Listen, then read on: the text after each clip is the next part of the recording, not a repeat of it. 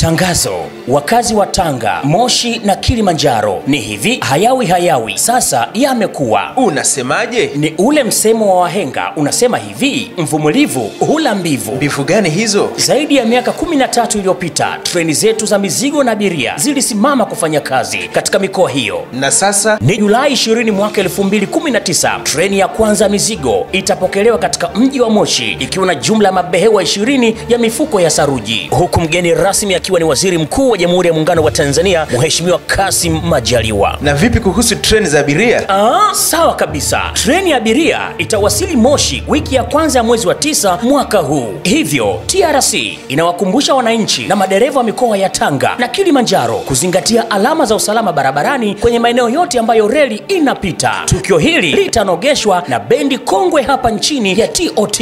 Nani kiboko? Ewe mkazi wa Tanga, Moshi na Kilimanjaro, usikose tukio hili.